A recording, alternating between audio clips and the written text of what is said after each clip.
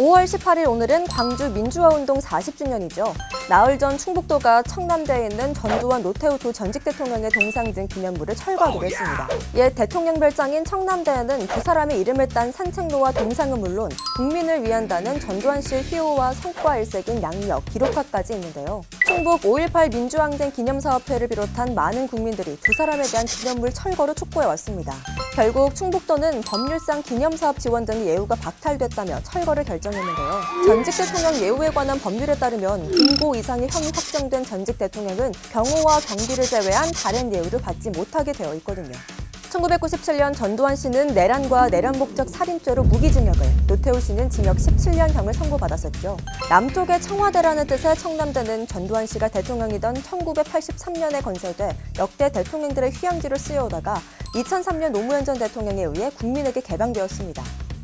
전두환 씨 있는 데는 아예 안 갔어요. 자체를 아예 안 봤습니다. 헬기를 띄워서 그렇게 포를 쏜다는 것은 나는 진짜 허용할 수가 없어. 지우기를 했으면 좋겠어. 국민들의 바람에 맞게 하루빨리 철거가 시작됐으면 좋겠네요.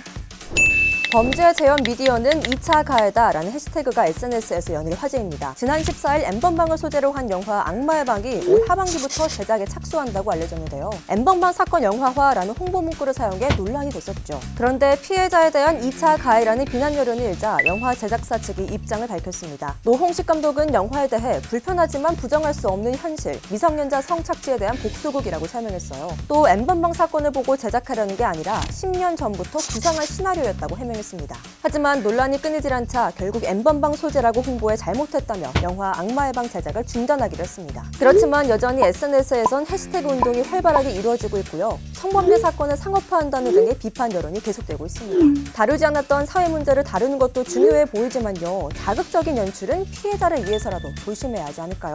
40년 전이나 지금이나 나라를 위해서 희생하시는 분들 정말 감사합니다. 그 소중함 잊지 않을게요. 그리고 일사이프 좋아요, 구독도 잊지 말아주세요. 저는 내일 다시 만나요. 안녕!